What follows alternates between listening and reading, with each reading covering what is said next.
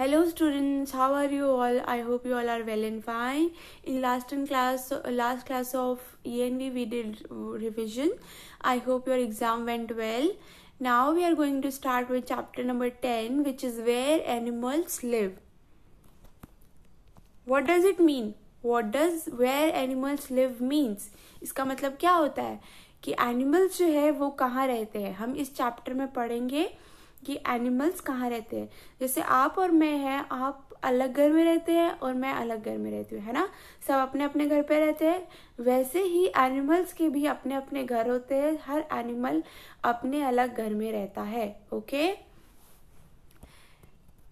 first thing is getting started this is saying कि अभी शुरू करते हैं okay help the rabbit to reach its home आप सबने पजल्स करिए ये पजल है।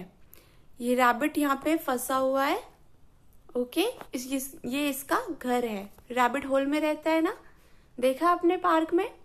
रैबिट होल में रहता है। अभी रैबिट को घर पहुंचाना है ओके तो ये घर पे रैबिट ऐसे पहुंचेगा। Okay do it yourself then first line is animals live in a variety of homes इसका मतलब क्या होता है? एनिमल्स जो है अलग अलग घर में रहते हैं। हर एनिमल का घर अलग होता है। वेराइटी मतलब अलग अलग टाइप के। होम्स मतलब घर। एनिमल्स जो है, वो अलग अलग घर में रहते हैं। Homes of animals offer them protection from heat cold rain etcetera घर में हम क्यों रहते हैं? घर में हम इसलिए रहते हैं ताकि बाहर बारिश आए, बाहर ठंड पड़े, बाहर गर्मी हुए तो हम उससे बच सके, है ना? घर हमें प्रोटेक्शन प्रोवाइड करता है हीट कोल्ड रेन से। वैसे ही एनिमल्स को भी घर में इसलिए रहते हैं ताकि वो हीट से बच सके कोल्ड से बच सके रेन से बच सके, है ना? इसीलिए घर होता है। Yes they are also a safe place for giving birth to young ones as well as for raising them अभी जो एनिमल्स के हैं, जो बेबी होते हैं तो वो बेबी कहाँ करते हैं? वो अपने घर में जाके बेबी करते हैं और फिर उसको घर में ही बेबी को बड़ा करते हैं। ओके रेजिंग दैम मतलब उनको बड़ा करते हैं। छोटा बेबी होता है, उसे सिखाते हैं कि कैसे जीते हैं, फिर उसको सब कुछ वो बड़ा करते हैं अपने घर में ही। इसीलिए एनिमल्स को भी घर की ज़रूरत होती है। Okay?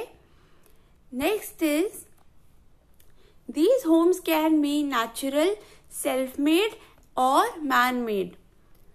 जो एनिमल्स के घर होते हैं वो नेचुरल भी हो सकते हैं सेल्फ मेड भी हो सकते हैं और मैन मेड मैन मेड भी हो सकते हैं अब हम पढ़ेंगे कि नेचुरल क्या होता है सेल्फ मेड क्या होता है और मैन मेड क्या होता है ओके okay?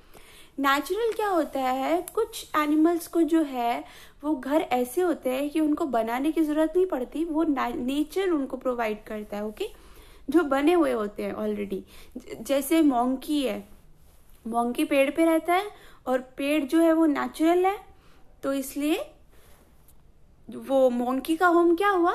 नेचुरल ओके कुछ होम होते हैं सेल्फ मेड अभी सेल्फ मेड क्या होता है? जो एनिमल्स अपना खुद का घर खुद बनाते हैं, उसे बोलते हैं सेल्फ मेड जैसे रैबिट है। रैबिट होल में रहता है और वो होल कौन बनाता है? रैबिट खुद बनाता है। तो रैबिट का घर कौन बनाता है?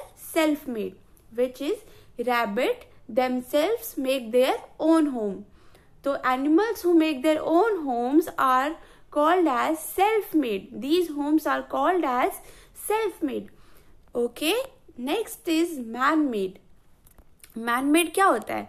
जो घर इंसान बनाते हैं, जो घर हम बनाते हैं एनिमल्स के लिए, वो होता है मैन मेड अब हम कई बार जिनके घर पे डॉग होता है, वो डॉग हाउस बनाते हैं तो वो डॉग हाउस कौन बनाता है? हम बनाते हैं ह्यूमंस बनाते हैं, इंसान बनाते हैं तो वो हाउस क्या बोलेंगे? उन हाउस को क्या बोलेंगे हम?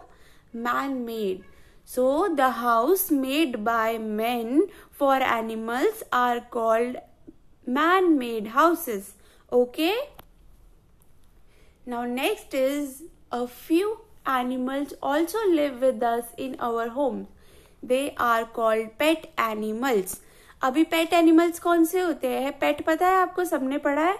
पेट वो होते हैं जो हमारे साथ, हमारे घर में रहते हैं ओके उसे बोलते हैं पेट एनिमल्स ओके okay, हमारे घर में कौन कौन रहता है?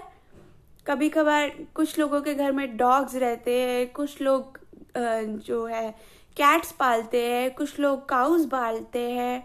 तो ये एनिमल्स कौन से होंगे?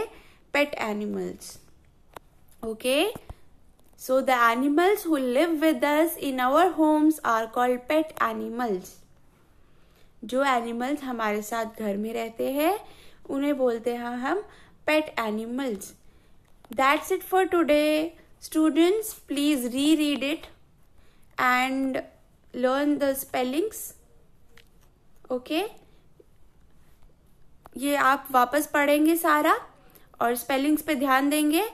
Okay thank you that's it for today thank you